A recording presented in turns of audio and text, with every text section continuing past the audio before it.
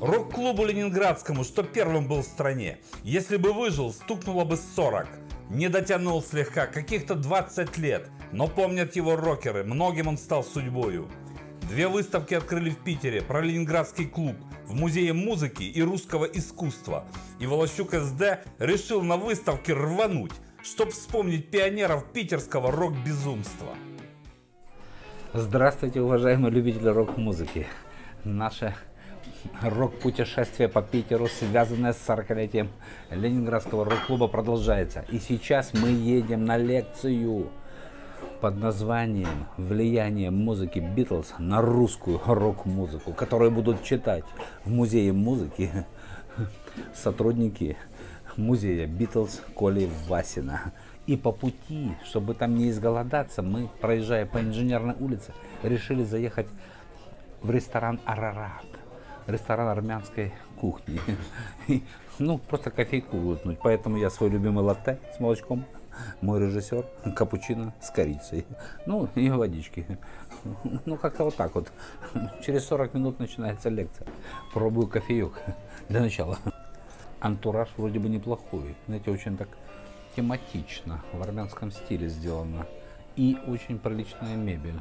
Атмосфера приятная. Не холодно, не жарко, во-первых. А во-вторых, это так вот... Ну, как-то вот так. Горьковат. Попробую баклажанную икру с армянским лавашом. А ну-ка. Хорошая. С дымком. Баклажанная икра хорошая. С помидорчиком черри.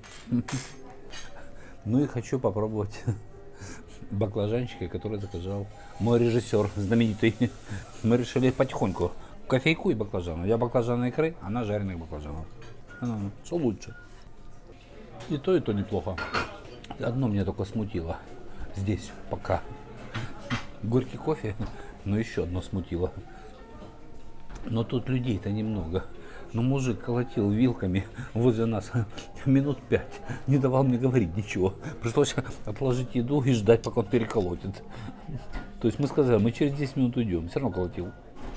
Потом говорю, поколочь. Нет. Ну, это так, специфика, чтобы вы были в курсе про этот ресторан. Всем приятного аппетита. Встречаемся в музее музыки через 20 минут. Ну что, кофейку мне глотнуть не удалось, потому что он настолько был горький, что я его просто глотнул и оставил. Но баклажаны были ничего. То есть запоминайте, инженерная улица. Чтобы вы знали, где кофе пить нельзя. Пойдемте. Кофе попить не удалось в ресторане армянской кухни. Но зато мы успели приехать на лекцию под названием «Судьбоносная роль Битлз в становлении русского рока», которая будет проходить здесь сейчас в Музее музыки и которую будут читать сотрудники музея Битлз Коли Васина. По-другому этот музей называется «Храм мира, любви и музыки» имени Джона Леннона. И расположен он на Пушкинской улице тоже одноименной улице имени Джона Леннона. Эта улица неофициальная. На самом деле этот храм находится в арт-центре, расположенном на Пушкинской, дом 10. Немного расскажу, кто такой Николай Иванович Васин. Это энтузиаст, который заразился музыкой Битлз тогда, когда они начали восхождение в 60-е годы. Он сам 45-го года рождения, ему как раз уже было лет 20. Поэтому началась битломания во всем мире. И, естественно, она дошла и до Советского Союза. И вот этот Коля Васин заразился этой битломанией. В 1966 году из своей квартиры сделал музей Битлз. Это произошло после выхода пластинки Битлз Revolver.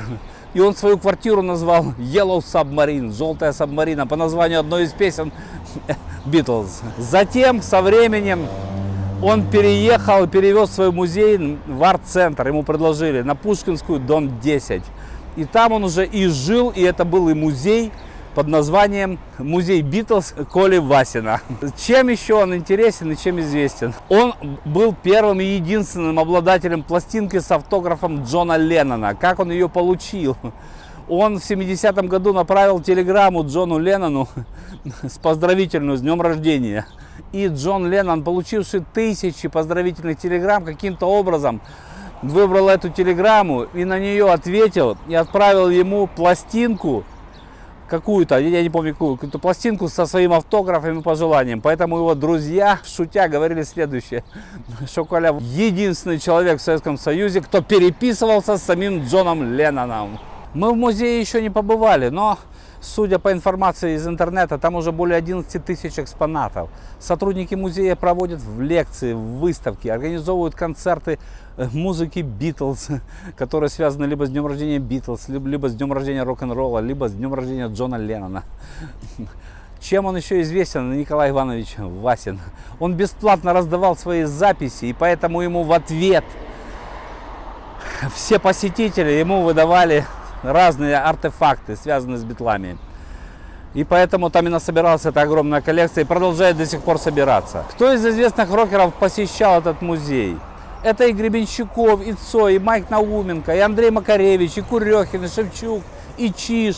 Ну, масса музыкантов посещала этот музей и были с ним знакомы. И всегда он доставлял им массу удовольствия, и они ему, я уверен, в этом тоже.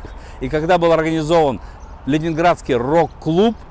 А наше рок-путешествие, напоминаю, связано с 40-летием Ленинградского рок-клуба. Так вот, членский билет номер один был выдан Коле Васину. Вот такой вот человек.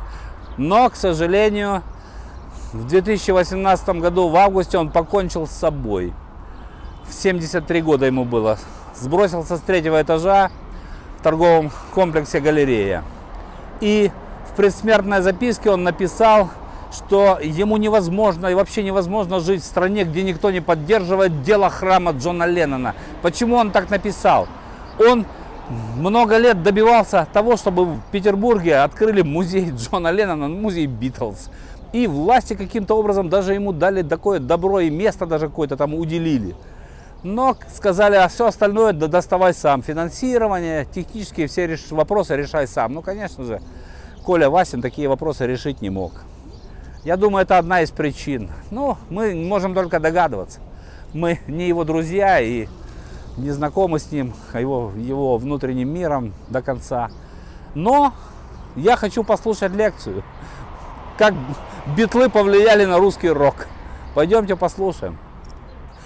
А почему я хочу посетить эту выставку? Ну, во-первых, я как начинающий рок-музыкант должен знать все, что происходит в мире рок-музыки. А во-вторых, если вы обратили внимание, то я тоже любитель группы всех времен и народов The Beatles. Идемте. Ну что, организаторы выставки подарили мне рюкзачок именной. Пошли за вот эту кепку знаменитую The Beatles. А тут написано All You Need Is Love. Как раз звучала эта песня. Когда дарили, жаль, что не успели снять. Ну ничего, у нас все впереди. Еще лекция не началась. Ну что, как там? Как? Уже музыки. Вот так лучше, по-моему, да? The Beatles All You Need Is Love. Все четко. Сегодняшнюю лекцию о влиянии Битлз на русский рок нам будут читать сотрудники музея Битлз Коли Васина, Алексей Кочетов и Полина Казицкая, а также приглашенные гости, известный фотограф Наташа Васильева Хаул и архитектор Григорий Козел.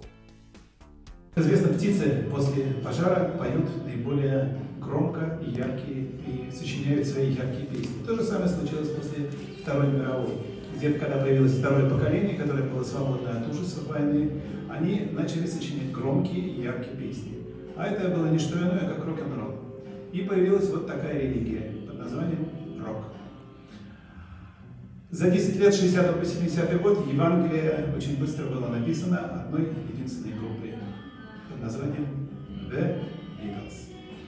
А проповедником этой религии у нас, конечно, стал Коля Васин. Алексей Кочетов изложил нам свое видение зарождения рок-н-ролла на Западе, а также написание самого настоящего Евангелия от рок-музыки четырьмя простыми парнями из Ливерпуля, собравшимися в одну великую группу под названием Beatles. Также он рассказал нам о влиянии музыки великой ливерпульской четверки на зарождение рок-музыки как в СССР, так и непосредственно в Ленинграде. Все это, конечно же, нам всем хорошо известно – но интересно было послушать это из уст сотрудника музея Битлз. И, конечно же, он рассказал о самом главном проводнике музыки Битлз в Ленинграде, незабвенном Коле Васине, который всю свою жизнь посвятил пропаганде рок-музыки и музыки Битлз в частности. Я бы хотела сегодня показать несколько картинок того, что можно посмотреть, как раз придя к нам в музей. А, Это фотографии из альбомов Коли, посвященные рок-н-ролльной России. Там замечательные два домика есть, такие Сайгон и рок-клуб как раз. Яркие, пестрые, все как в нашем музее, все пестрит, э, искрит светлами. Рокеры в дальнейшем а, стали устраивать праздники музыки Битлз. Полина Козицкая подробно рассказала нам об уникальном ленинградском, а теперь Санкт-Петербургском музее Битлз Коли Васина, о его экспозиции, о тех мероприятиях, которые там проходят, а также с большой любовью рассказала о самом создателе музея Коле Васине, о его жизни, его мечтах, о проводимых им концертах, лекциях, об его оценке музыки Битлз и ее влиянии на всю мировую музыку и на ленинградский рок в частности. Наташа Васильева Хал – известный фотограф и непосредственный участник событий, происходивших во времена зарождения и становления ленинградского рока. Она продемонстрировала нам множество оригинальных фотографий тех времен и прокомментировала запечатленные на них события и людей. Это Коля Васин, одна из моих последних с ним встреч. Весь русский рок, в принципе, родился под крылом Коли Васина. Храм любви, э, любви, мира и музыки имени Джона Леннона, главный архитектор храма Григорий Козел. Архитектор Григорий Козел, оказывается, был утвержден Колей Васиным главным архитектором будущего музея мира, любви и музыки имени Джона Леннона, который так мечтал возвести Коля. Григорий рассказал о самой концепции музея, задуманного Колей Васиным, в котором была бы и подводная часть, где плавала бы желтая подводная лодка, и большое отверстие под куполом, куда бы эта подводная лодка залетала после полетов над миром. А также рассказал нам об архитектурных решениях, которые им предлагались. В общем, для любителей музыки Битлз это была прекрасная лекция, насыщенная размышлениями, воспоминаниями и множеством иллюстраций. Участники рок-группы Волощука СД очень рады, что им удалось побывать на таком уникальном, единственном в своем роде мероприятии с выступлением непосредственных участников ленинградской рок-истории. Вы видите этот мужчина в первом ряду, который пришел в кепке. Вот она!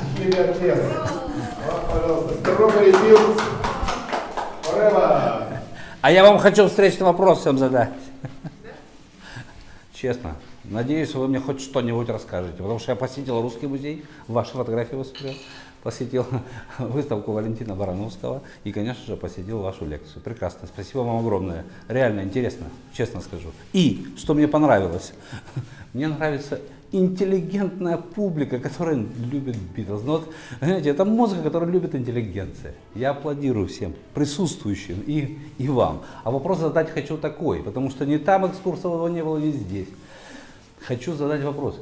Вот вы сказали, да, и мы все это знаем, что, конечно же, Битлз повлияли на, ну, не на развал Советского Союза, но на подтачивание этой идеологии коммунистической однозначно, согласна.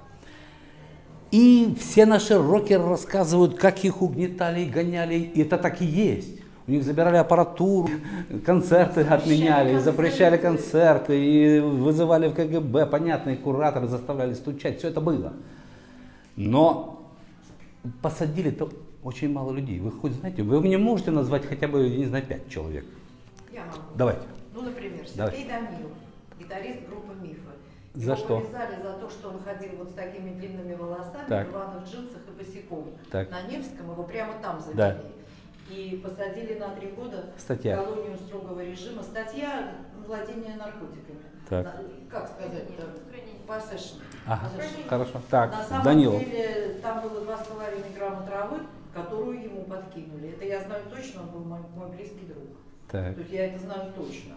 Второй случай, например, Миша Малин, эм, он эм, большой друг был, они были друзья с Сашей Титовым. Миша Малин, я его знала потому, что я была менеджером группы «Внезапный сыщ», это панки. Это уже поздний совок. Это, это не 70-е и не 80-е. Мгм. Это уже начало 90-х. Я была менеджером группы «Внезапный сыщ», а он был продюсером. То есть он давал деньги, у него была видеокамера, он спонсировал запись. Он был не бедный человек. И он дружил с Брайаном Ино. Брайан Ино – это западный музыкант. В те годы он был очень известен на Западе. И Миша Малин был вхож в этот круг, он прекрасно владел английским языком и все такое. В результате его повязали без всякого вообще обвинения, его посадили и били до тех пор. За что? Ни за что, просто А, так. просто так. Обвинили вообще черт знает в чем. Менты требовали 5000 долларов. Так. Менты узнали, что он знаком с Брайаном Ино, и сказали, напиши ему или позвони ему, пусть он вышлет 5000 баксов. Он сказал, я не буду. И не стал. Они били его так, что когда он вышел, он через месяц умер от разрыва печени. Это случай из моей личной Так, жизни. так, так. Это я знаю не из газет, не из журналов, это мои очень близкие друзья. Это люди, с которыми я дружила и работала. Это два случая. А случай, например, из старинной истории, это случай тоже с человеком, которого я очень хорошо знала, Юра Ильченко. Он был гитарист и вокалист, он играл в «Машине времени», он был в группе «Мифы». И он был моим мужем. вдобавок. Так. Поэтому я знаю это точно. А ну. Вот у него были вот такие длинные волосы, и он тоже шел по Невскому в джинсах. Его вот так вот схватили вот так вот за руки, тогда были такие дружинники, добровольная вот эта народная дружина. Вот женщина кивает, вы не можете этого помнить, вы слишком молодая. Я вот просто Спартаке, да, да, я слушаю. Это- это- это- Да я сам был дружинником много лет. Вы что, нас всех заставляли Вот. ходить в дружине? Вот И это хорошая, между прочим, И традиция. относились к этим, сказать, обязанностям. Там были и кущи, там было воняло, и вся эта гадость сандеповская. Его избили, у него, от- ему отрезали волосы, и ему вот так вот э, разрезали джинсы снизу до верху. И он пришел домой с синяками, без волос и в этих разрезанных джинсах. Но это вам вот уже три. Три. Я могу еще Я- порыться в Ну памяти и вспомнить еще. Положительное то, что ну реально, битлы столько создали музыкантов. Я вспоминаю свое детство. У меня только в, в классе было четыре барабанщика, все были в разных группах. Спасибо огромное. Поэтому битлы это наша рок-музыка однозначно. Помните, что Beatles Forever. И всем сегодня на ночь послушать 5 песен. Ну что, лекция закончилась. Мне понравилось. Влияние Битлз на русскую рок-музыку. Хорошая лекция, интересные люди, сотрудники, внештатные сотрудники музея Битлз в школе Васина имени Джона Леннона. Вот так. Такое вот название. Ну, посвящено все, конечно же, в тематике 40-летия рок-клуба. А Коля Васин был членом клуба номер один. Это вот интересно. Ну и, видите, мне подарили земляничку. Помните, земляничные поля. И наградили значком All you need is love. За то, что у меня хорошая шляпка. The Beatles. Так что вот такая вот интересная лекция. Интересно здесь ребята собираются. Любители Битлз и любители рок-музыки. Из жизни русской профессуры, из жизни докторов наук, истории вам без цензуры, расскажет рокер Валащук.